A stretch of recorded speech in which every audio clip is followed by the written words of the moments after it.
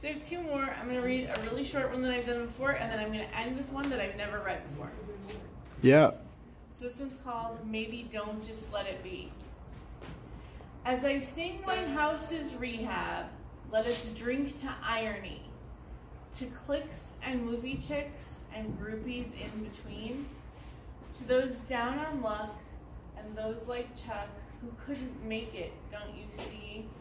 And to the girls who will only ever sing the chorus to let it be as backup for bands in coffee houses on downtown rundown streets. To them, they'll always think they will reach such greater feats. But someday they'll be waiting in the friendly local bar, and they'll realize 20 years later they never got that far. Kicking around a one horse town, two horses, maybe. But it doesn't matter. For too long, they let it be. Woo! And that one is always for my friend Chuck Z, who passed away in 2002. Mm. And this one is, I never read this before. This was one of my ones that released to Patreon. Um, I always release a poem on my Patreon. It sits for 30 days where it's, and it's not released or read anywhere else. Um, so this was released in June there. So um, this is called Complicated Coffee Houses, Coffee and Coziness.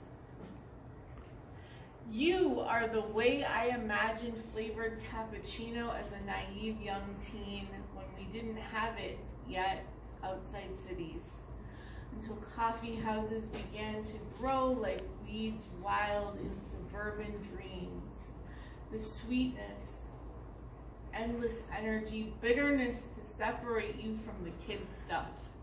Smooth, too powerful to consume all at once you may want to rush between my lips, but I know you'll burn me.